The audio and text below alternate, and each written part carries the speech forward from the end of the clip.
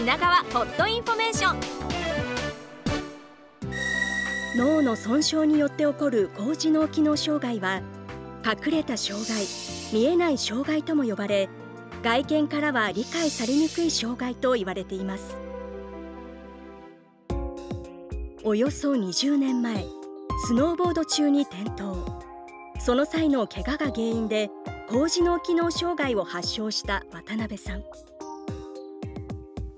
えー、全然自分は気づかなくったんですけど転院先のどっかでは高次脳機能障害だってるよっていうこととか言われたみたいなんですけど僕は全く全然分かんなくて家に帰ってきてからも全然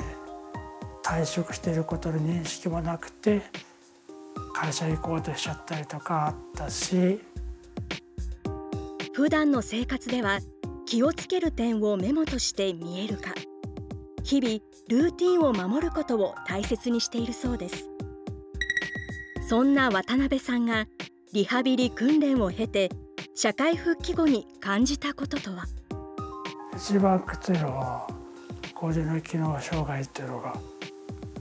周知っていうか全く知られてないことだったから工事のは見えない方だから